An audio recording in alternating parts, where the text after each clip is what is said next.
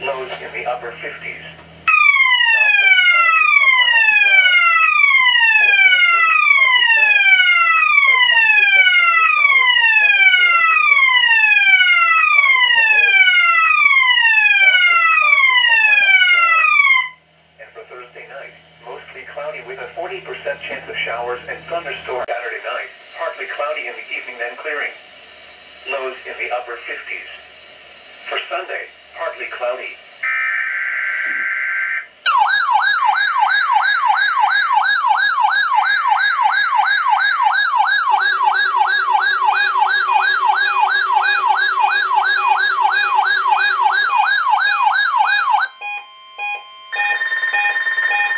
The proceeding was a test of the National Weather Service warning alarm tone.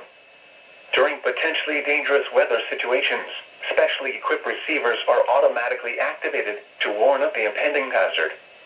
Tests of these receivers by this system are normally conducted by the National Weather Service every Wednesday between 11 a.m. and noon.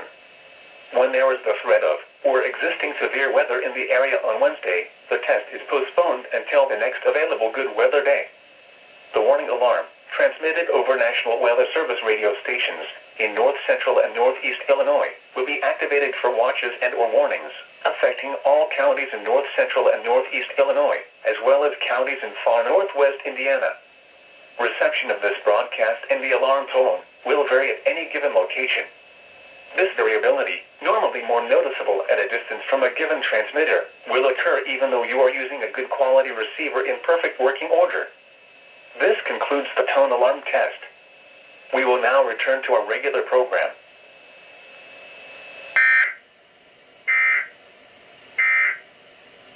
You're listening to NOAA Weather Radio,